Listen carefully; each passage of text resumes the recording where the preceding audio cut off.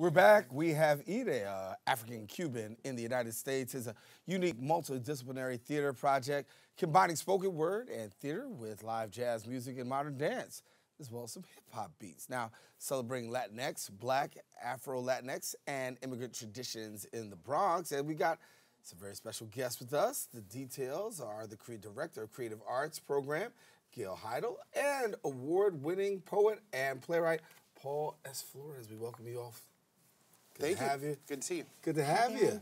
Thanks Talk to us about this. So it's a very uh, special event. Sure. Uh, we are going to be having this event on March 9th at Casita Maria Center for Arts and Education. We're located at 928 Simpson Street in Hunts Point. We'll have a storytelling workshop with Paul S. Flores and some of the other artists uh, from the production starting at 11, and then the performance will be at 2. And Paul, you want to tell us about what's going to happen?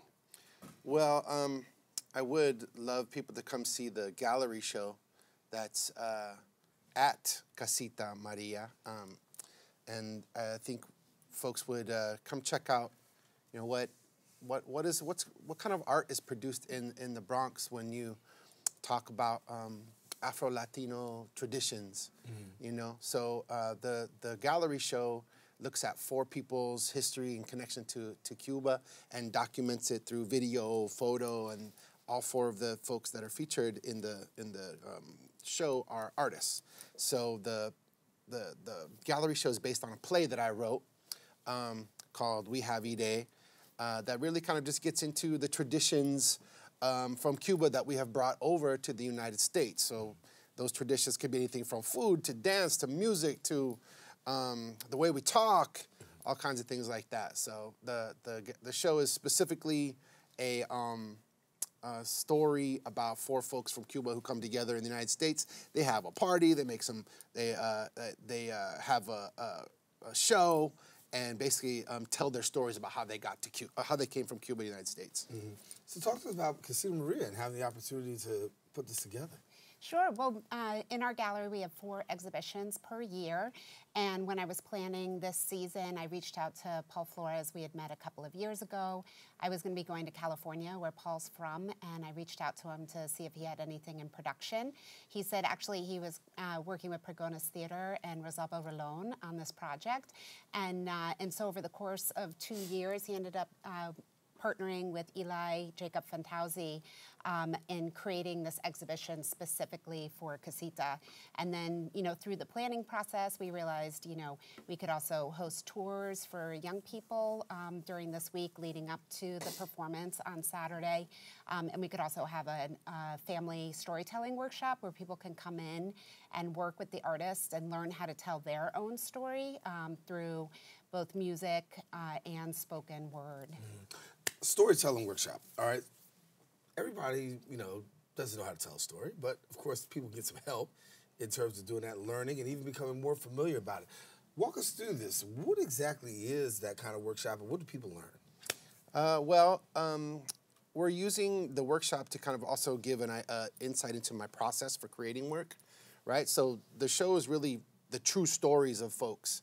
Um, the, the, my, my collaborators, we're telling their true stories uh, through music, uh, theater, um, poetry.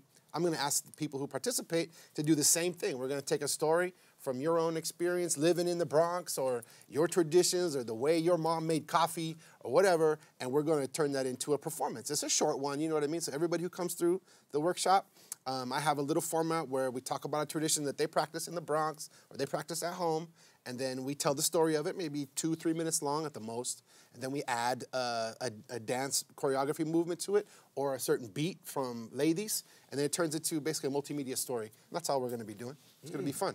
Invite people to come on out. Listen, March uh, 9th from 11 to 1.30, you can come and do this and be a part of this. And uh, so for people who want to find out more, what do they do?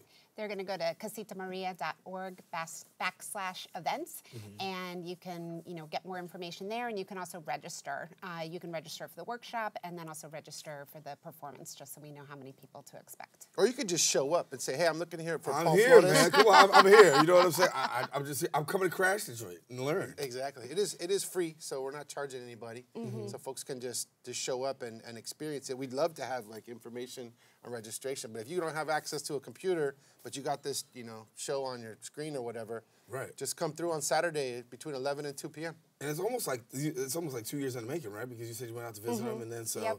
No, we have a great collaboration. We've been mm. working really good. I want to say that Casita Maria is an amazing place. They mm. do a bunch of excellent youth arts programming, but then their gallery folks are really professional, totally organized.